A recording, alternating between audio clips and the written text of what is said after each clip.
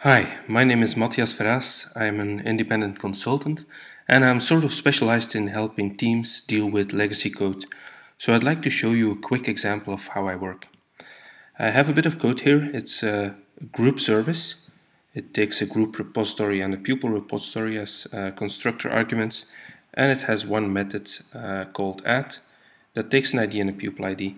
So immediately the first thing I do when I see uh, this sort of code is try to uh, reflect my insights into the code, not by adding comments, but by actually renaming stuff to make it more explicit. For example, we see a group repository here, but the variable is named repository. And that's maybe a little bit confusing. Um, in this case, it's just a very short class, but uh, sometimes you have these uh, 5000 line controllers, and then it's really helpful to make uh, your variable names very explicit. So we can let uh, IDE do the work. There's uh, all kinds of refactors here. Uh, for example, rename is one I use a lot. This is group repository, so just rename it. And you can see that it changes right here and right here. Same thing with the class property. We rename it to group repository. And you see that it changes everywhere. We'll do the same thing here. We have an ID and a pupil ID. The ID is used to find a group in the group repository. So that's in fact a group ID.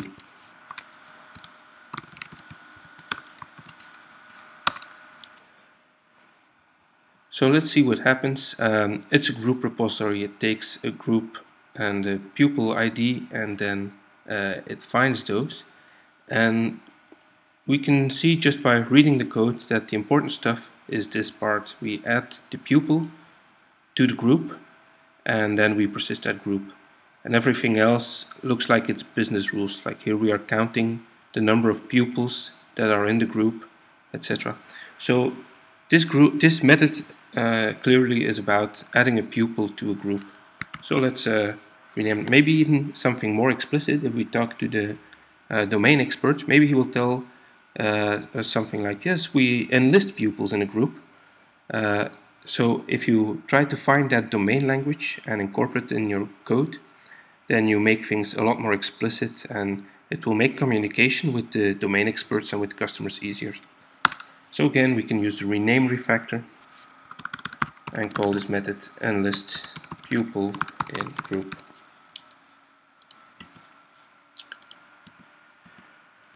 So what happens? We have a group repository, we have some pupils, maybe Again, this is a little bit confusing because we have this pupil and this list of pupils.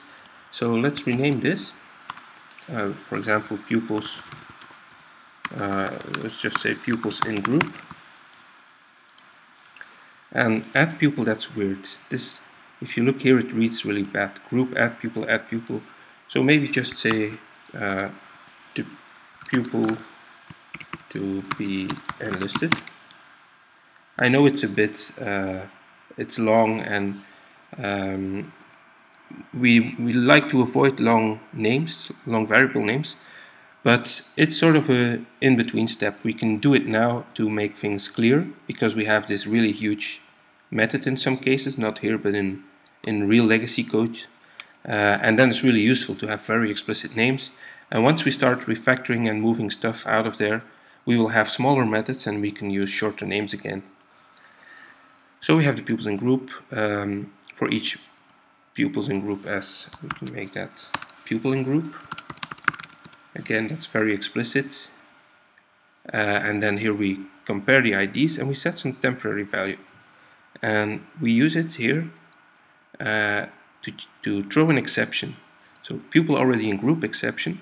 So what we are basically doing here we loop over all the pupils in the group, uh, we compare them by ID. So if the pupil we want to enlist is already one of the pupils in the group, then we set this variable, variable to true, and then we will throw this pupil already in group exception.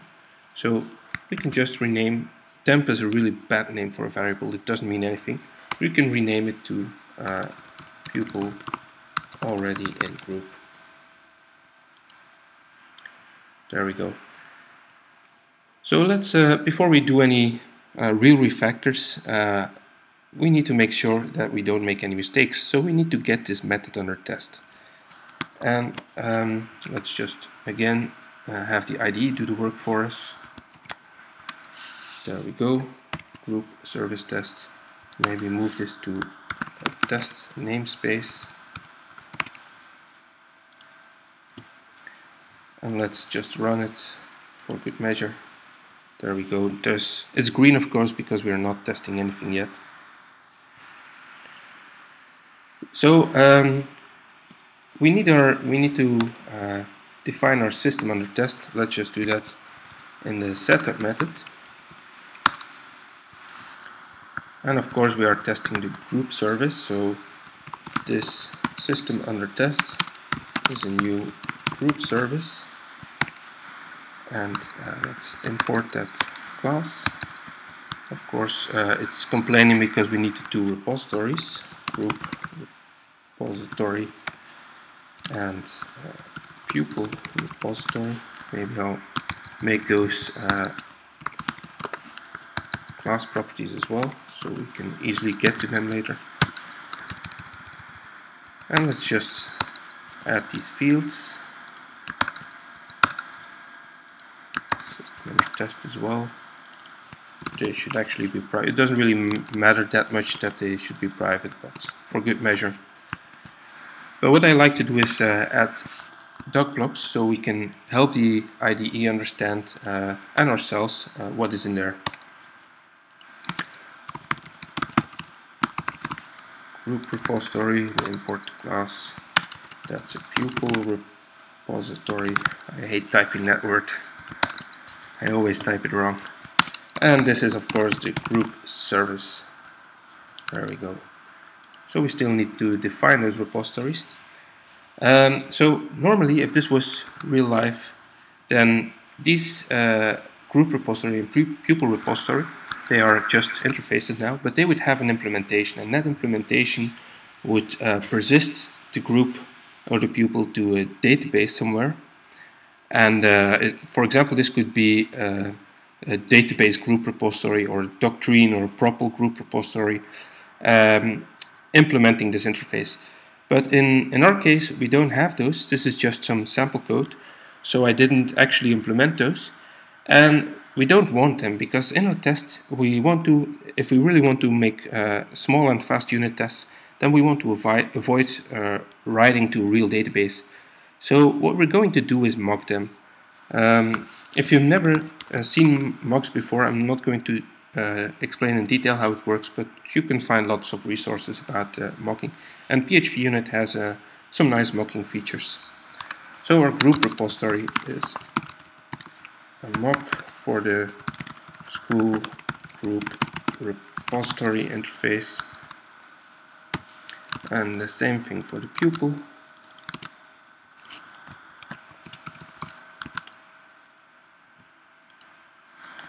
So and now we can, uh, now that we have a system under test configured, we can try uh, exercising it. We need a group ID, let's just take some value for now, and a pupil ID, and let's try to run our test again. So it's uh, failing, so let's see what happens. Call to a member function get pupils on a non-object.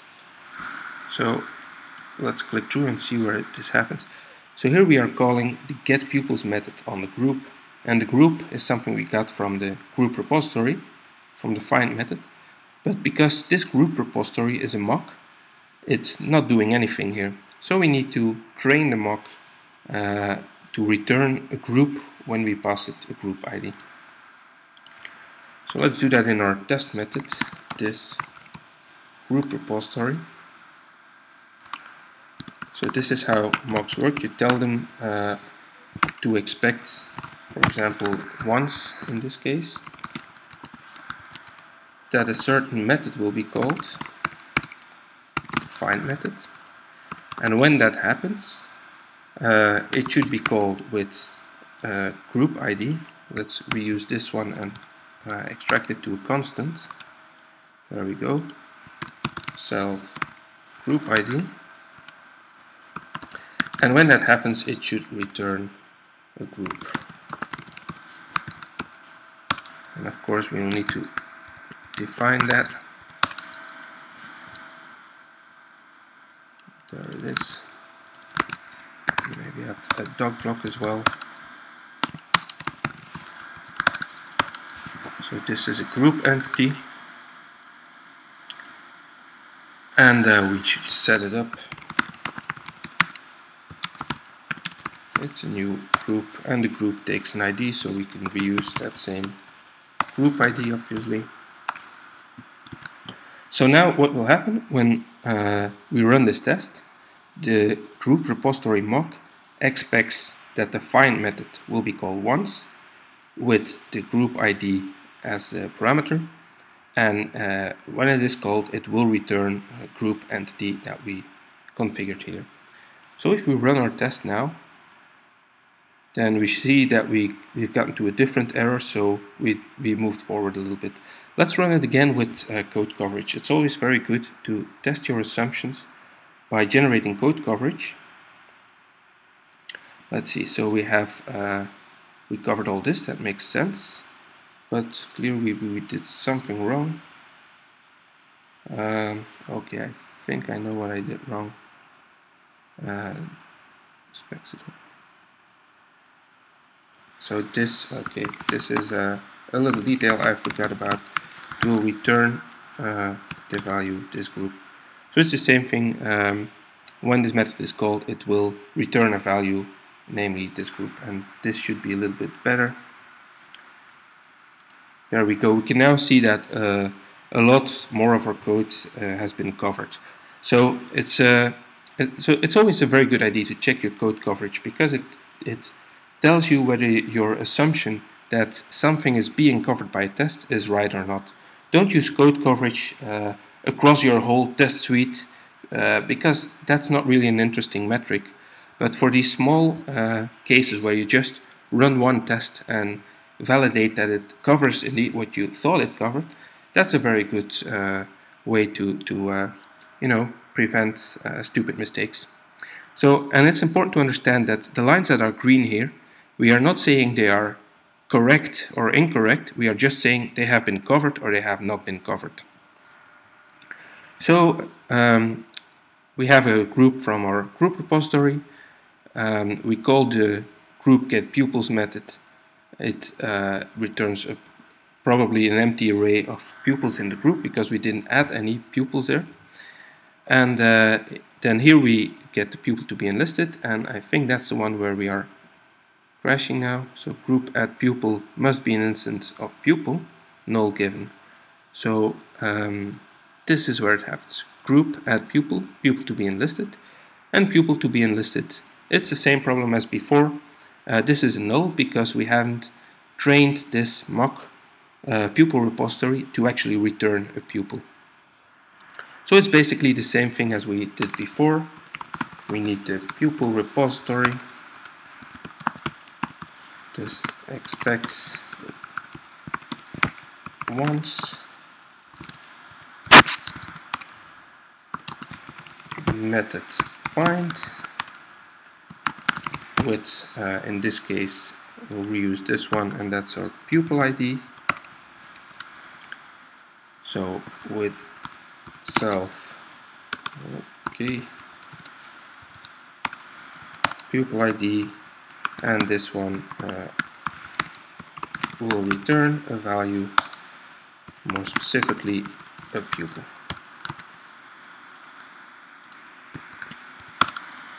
And let's set up the pupil as well.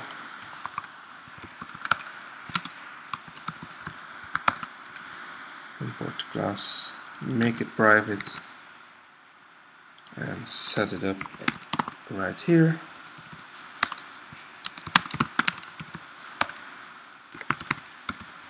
And instantiate it with a pupil ID.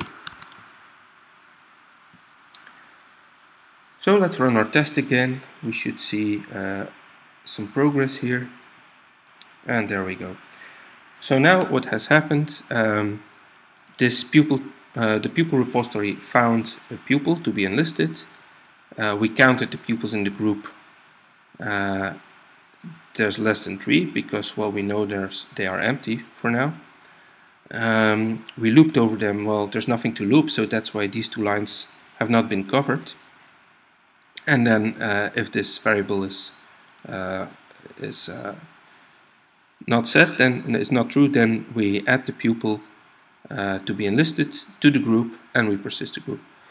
So even though our test is passing now, uh, we haven't actually tested anything yet. We have just executed this code with two mocked repositories, but we haven't actually done anything or actually validated that it does what it's supposed to do.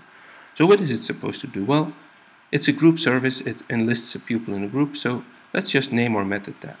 It should enlist pupil in group. And you can notice that I use a different uh, naming convention for test methods because this is this is not a method in the same way that this is a method. This is just uh, uh, this is actually a description of what this test does. So I use this different notation to sort of uh, visualize that it's something entirely different. It's not production code. It's uh, uh, something. You know, it's, it's, you you could do this with a different uh, testing framework where you wouldn't have functions, etc., and then you could still use these same notations. I hope that makes sense. Anyway, so it should enlist a pupil in a group. So we can easily validate that. We have the group, and uh, it should be empty to begin with. We can add a guard clause for that. So uh, let's say this asserts empty. Um, this group get pupils. So this is not part of the actual test, but it's again something that you can do to validate your assumptions uh, before you actually do the, the testing. So and then we, we're going to test if the group now contains the actual pupil that we think is being added. So this uh, so equals first we in a PHP unit first you write the expected value and that's an array of course containing the one pupil and then uh, the actual system under test um, no I'm sorry the group get the pupils. So I think this is pretty clear what it does. We assert that when we call the get pupils method, uh, we will get an array of one pupil. So that validates that our uh, system under test is actually enlisting a pupil in a group. So let's run this. And that's great. We can uh, run it again with code coverage. It's still going well. There's one more thing. So um, we have proven now that we are actually adding a pupil to a group and that this code works, but we haven't proven that we actually persisted because imagine that we don't have this line. Uh, when we uh, run this code in production and it's, uh, it's in a web request, then the next request won't have the group. So we haven't really proven that this uh, method does everything it's, it's supposed to do. So of course, we cannot check the database because this is not a real uh, group repository, it's just a mock. But we can uh, tell our mock to expect that this group will be persisted. So that's uh, very similar to what we've done before. Um, let's add that right here. This group repository expects once. The method persists with this uh, sorry with this group of course. So if you run the test again it's green. And now we can it's always good to watch your test fail so if we turn off this line then we can see that the test fails. Same thing for this line and the test fails so Watching a test fail is another great way to, to test that your test is correct, to test your own assumptions. So this is very nice, we have uh, a test. Let's make this a little bit more readable because if we come back to this in six months or some other team member reads this, it's going to be a little bit hard to decipher what's going on. So we can use the extract method this time from our uh, refactoring toolkit. So these these refactors in uh, in PHP Storm they are they are safe. They are guaranteed to be safe. So if for some reason uh, PHP unit uh, uh, PHP Storm cannot uh, do a refactor safely and uh, be 100% sure that the code is uh, behaving exactly the same way, then it will disallow the refactor. So we have a lot of, we can be confident that this is going to work. So what is this little block of code doing? Well, um, let's say expects that a group is found. There we go. This pupil repository, same thing.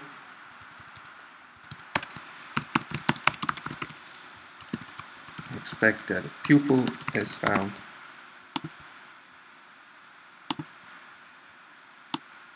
And here we will uh, expect that uh, the group is persisted. Let's group this a little. So this makes it a little more, little bit more uh, readable, uh, and you can you should do that a lot. Uh, extract method to make things readable. This is a nice, short, readable test. Um, so your future self will, will thank you. Okay, so now we have one test, but clearly we haven't covered everything. So there's a couple of edge cases, and, and these cases, uh, uh, these are our, our business rules. Um, it's always good to validate those with, uh, with a domain expert or with your customer, uh, especially if you're looking at legacy code and you're trying, uh, as we're doing, we're doing now, trying to discover the business rules from the actual code. And it's a good thing to, to validate those. But let's just now assume that they are correct and try to put this under test. So we have all these nested ifs and for each. We don't really like that, but let's start with looking at what happens uh, on the outside because that's the easiest thing.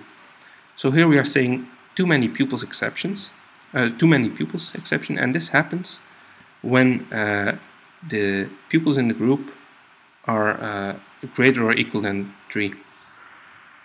So let's write a test uh, that uh, proves that this works. So it should uh, disallow more than three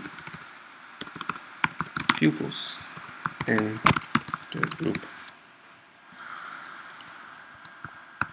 So how, how are we going to test this? Well, um, it's going to be a little bit the same thing here. Let's just uh, copy these two. Expects that the group is found. We expect that the pupil is found. Uh, we are going to attempt to enlist the pupil in the group but the group already has three pupils now. So this group add pupil and that's a new pupil. Let's just give him a, an ID doesn't really matter what ID it is. So this group now has three pupils we expect that the group is found, we expect that the pupil is found, we try to enlist an additional pupil in the group, and we expect now, and that's another PHP unit feature, set expected exception, school, and let me just check, that's too many pupils exception. So now this test is going to pass. If this exception is actually thrown by our code. So let's run it and we can see that uh, maybe let's just run the one test so we don't pollute our uh, code coverage. There we go. So now we can see uh, our code is covered up to here. We are counting the pupils in the group. This block is skipped. We go to the else block, the exception is thrown, and our test is passing. And it's always good, as I said before, to uh, watch your test fail. So if we run it again, then we can see that it fails.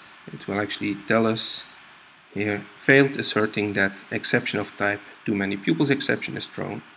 So that's good. This is uh, working as we thought it would. And we have one more pupil already in group exception. So that's another business case, that's another test the, so it should uh, disallow duplicate pupils and it's very similar to our previous test we have uh, these two expectations we set a different exception So copy pasting is bad. Don't copy me. I'm just doing it to speed things up a little. Well, that's always the excuse, of course. So anyway, uh, we still need to uh, add our pupil. So this time we're adding the same pupil to the group. Uh, so it's already in the group and we're trying to add it again. So here we add it uh, like this, directly into the group. And then here we enlisted the pupil in the group uh, in the same way. And so we expect now that this uh, system under test is going to throw a pupil already in group exception. Let's uh, run the code. The test passes. We can see that, um, nope, I have to run it with coverage. I'm running the wrong test. So see, this is ex exactly uh, the sort of example why you need to make sure that you watch a test fail. I've been running the wrong test and assuming that it uh, passed. So this should be better. So now we can actually see our uh, code coverage. We're going into this first if block and then here we are skipping uh, this if block and moving directly to the uh, throwing of the exception. And again, if we turn it off, we should see that the test fails. So that's very good. And now we can run all three tests and they're all green, that's great. And we can also observe that uh, everything is being covered now. So once again, uh, having coverage doesn't prove uh, that you've actually tested everything, but it's sort of a negative metric. Something, if something is not covered, then you know for sure that it's not being tested. If something is covered, then you don't know for sure that it's being tested. So, so and now, and if you look at this, then you can, you know, sort of collapse these tests, uh, and it becomes very readable. You can actually show this to your domain expert and ask if this is true. It should enlist a pupil in a group. It should disallow more than three pupils in the group. It should disallow duplicate pupils. Your domain expert will say, "Oh yeah, exactly. That's right. That's how we meant it all those years back when." Uh, we didn't have a lot of money and we paid someone to write this code uh, that was the original ID we had. Okay, let me just uh, turn off the coverage now. So that's all very good. You, you could actually stop here and commit that and you'd already have made an improvement because you have now uh, put some code under test. But all these new insights that we have about this block of code, we want to reflect that in the code, uh, just as I did at the beginning. So let's start again looking at this this uh, set of nested ifs and for each. I don't like that, so let's try to find ways to make that simpler. And one thing you can you can often do is uh, turn an if uh, around. For example, here, if we count that pupils are less than three, um, that's we can state that in a in a different way by saying if the count of the pupils in the group is greater or equal than 3 then we throw this exception. So and we run our tests. They are still green so this is equivalent. So we can get rid of this if block. We don't need this anymore. So uh, we, we've re reduced the the indentation here the level of nesting by one. And the code is still behaving exactly the same way because if we throw the exception here we are getting out of this method. So that's very nice. We can uh, try doing that again uh, here. If not pupil already in group, that's sort of another inverse uh, if. So if we say if pupil already in group, then we throw a new pupil already in group exception. Run the tests, they are green, so we can get rid of this if block. Run the test again, or run them with coverage. You can see still everything is still being covered. We just rearrange some stuff and we can do so with confidence uh, simply because we have those tests. So tests give you give you a lot of security. They make you feel confident that you can change code because if you change it and you break it then you will know right away. So uh, uh, this is very nice. Now let's uh, use the same extract method that we used before to make this a little more clear once again. So these things, uh, we call them guards. They guard certain business rules. So we can make that very explicit. So, uh, for example, here, guard against too many pupils. Make that private. So as you can see, this uh, uh, this little block of code was now moved to this private method. Um, maybe I'll, I'll do it again and I'll do one little change. So here we have the pupils in group and we are using it here as well. But I think it's a little more clear and explicit if we inline this. So um, it's this is where we where we make the uh, where we get the variable. We get it from the group. So this is equivalent uh, with this code. There we go. Let the IDE do the work. So now we we just call this immediately instead of putting this in a temporary variable first. And the benefit, in my opinion, is that when we now do this extract method again, guard against uh, too many pupils,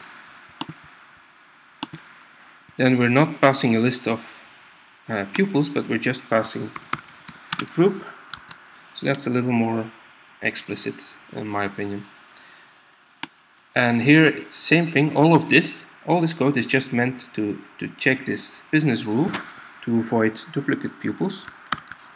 So that's another guard, guard against duplicate pupils. And that's another private.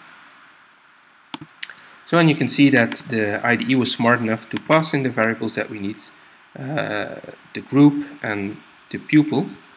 And we can make that a little even a little more uh, explicit by adding the type hints.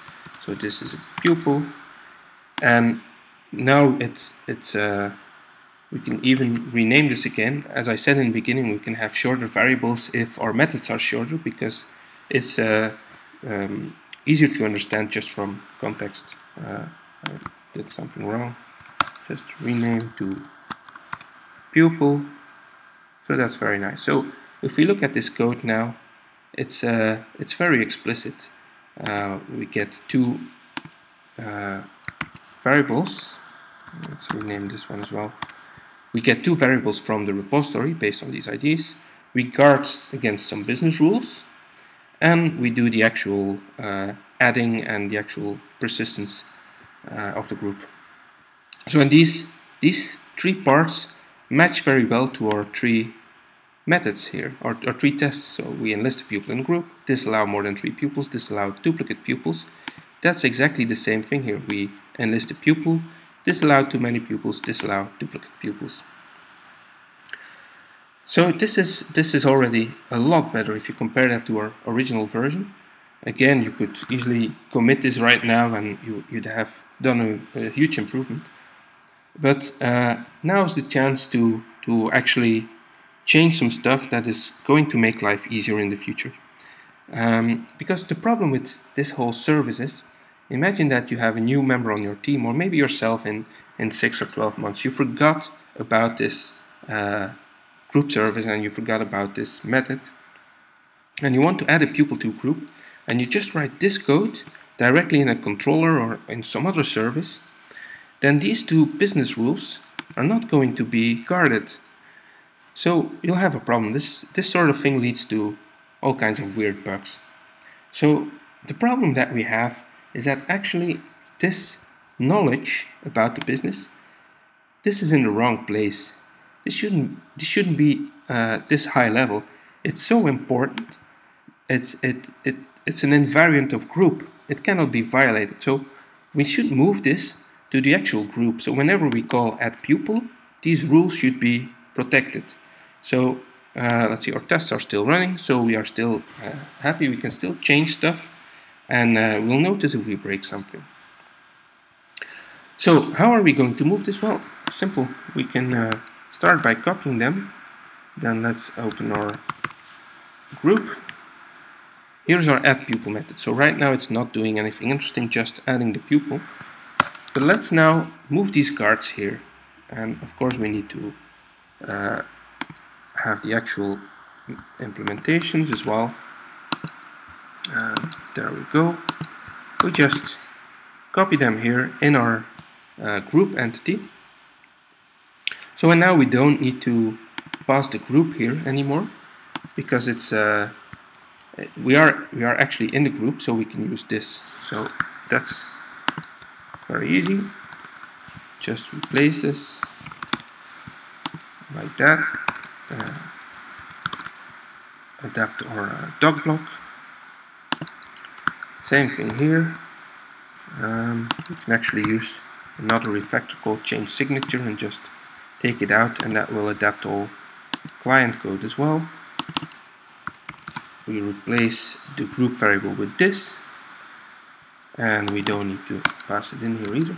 So again this should be very readable. When we add a pupil we guard against these two rules before we actually add the pupil. Uh, let's run our tests. They are still happy. Let's look back at our group service. We can now remove the code here remove the guards here run the tests and the tests are green, this code is all covered, and of course all the code in our group entity is covered as well. So now we have actually improved our code substantially because we have now made it harder to break. It's now impossible for a developer to add a pupil to a group uh, without passing uh, through those two guards. So the last thing we could do, but I'm, I'm going to stop right here, but the last thing we could do is actually move uh, the, these tests, these two tests to, uh, oh, sorry, these two tests to a group test instead of a group service test, because that's where our code is, that's where our uh, business logic is now. But I'll leave that as an exercise uh, for yourself. It should be self-evident how to do it. So uh, that's about it. I hope this was helpful. Thanks for uh, watching this, and uh, see you again later. Bye.